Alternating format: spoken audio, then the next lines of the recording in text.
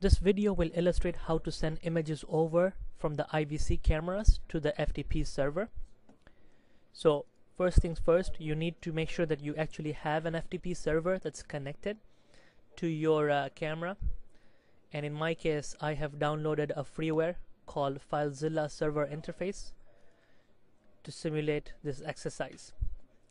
Once you have uh, the server interface open, if you're going to be using FileZilla, what you, where you need to go is to users and make sure that you actually add a user account. In this case I already have a user account called Parmasa. You can enable a password. I don't have one in my case. Once you have a user account then you need to define what exactly is going to be the folder or the directory where the images are going to be stored.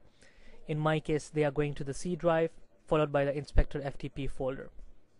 And this one is going to be having access by the user's Parmar sub, which is the only user I have in my case. So these are the only two settings that needs to be done if you're going to be using FileZilla and then you can OK on that screen. So I'll go back to my uh, IVC Studio program. I already have an image and I can now go to the communications tab and uh, include or insert a step called send to FTP. I need to uh, define an IP address of the server. In this case, uh, the server is my PC. So I'm going to go ahead and uh, find out what is the IP address of my computer. And that's uh, 10.100.9.216. So I'll go ahead and uh, add that. The port number from the FileZilla was 21 as well, so I'll just leave that as to be the default. The username is uh, Parmasa and I really don't have a password. Um, now within the directory where the images are going to be stored, I can create a subdirectory where I want the IVC images to go in, and I could call that IVC images. And the file name, this can while this can be a dynamic file name, uh, so that your images are, let's say, based on a counter one, two, three, four, or something more meaningful to you. In this case, it's going to be a static image. I'll just call it uh, test.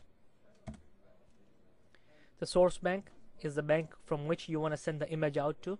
In this case, it's bank number zero because that's where my image is at.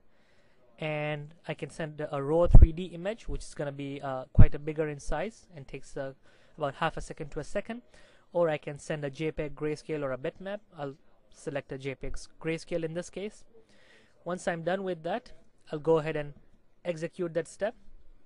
And uh, there is uh, my subdirectory in which the images are going to go which is C drive inspector FTP within that the inspector image the IVC images directory got created and I can double click on that.